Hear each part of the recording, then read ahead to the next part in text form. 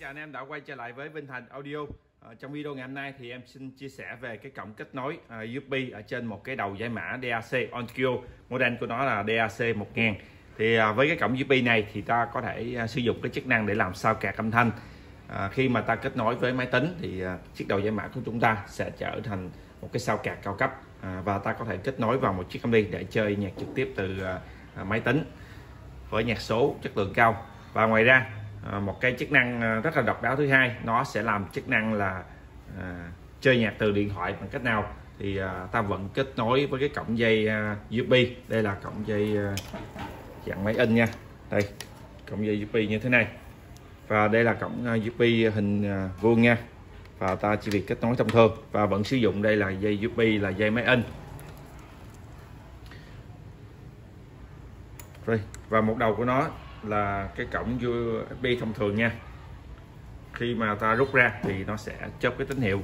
Và để kết nối được với điện thoại thì à, ở trên cái chiếc smartphone của chúng ta phải dùng một cái cổng rất là đặc biệt. Đây là cái cổng gọi là cổng OTG thì à, với cái cổng này ta có thể giao tiếp à, với điện thoại qua cái cổng USB và ta vẫn có thể lắp thêm à, cái thẻ nhớ nè à, lắp thêm con chuột vào để ta có thể sử dụng như là một cái thiết bị ngoại vi cho điện thoại và với cái cổng này nó vẫn có thể à, để xuất âm thanh cái được số cao cấp và ta có thể chơi nhạc số nhạc led à, trực tiếp bằng cái điện thoại này thông qua cái nhạc số à, xuất tín hiệu cái được số và qua chiếc à, đầu giải mã à, DAC để à, xử lý tín hiệu.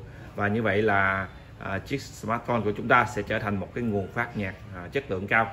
Qua cái cổng kết nối là OTG nha anh em về cái cổng à, USB này thì nó sẽ có rất là nhiều chuẩn à, OTG À, để kết nối à, với điện thoại. Qua cái cổng là cổng à, à Lighting hoặc là cổng à, Type-C cho Android và loại cổng micro USB rất là nhiều cổng nha.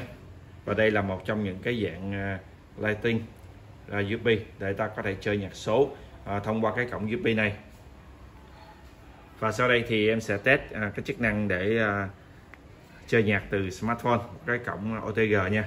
Cổng này gọi là OTG anh em có thể à, để mua trên các à, sàn thương mại điện tử rất là nhiều nha. Và ta chỉ việc kết nối vào đây. Chất âm nó sẽ là nguyên thủy như là những cái chuẩn gốc của nhạc nha. Chứ không phải là thông qua một cái chip xử lý âm thanh bên trong điện thoại. Đây là chip xử lý là qua cái được số nha.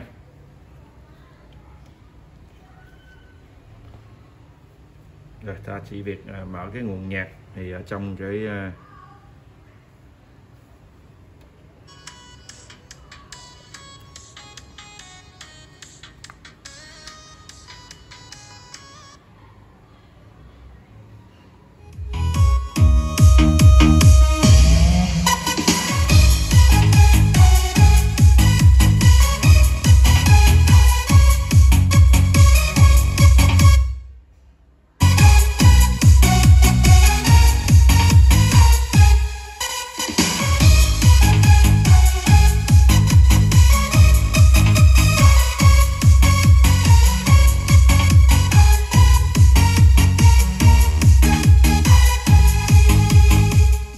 Rồi thì đây là cái phương pháp để uh, chơi nhạc số từ uh, smartphone đi qua cái bộ dây mã thông qua cái cổng uh, USB uh, qua cái cổng Latin nha, cổng OTG.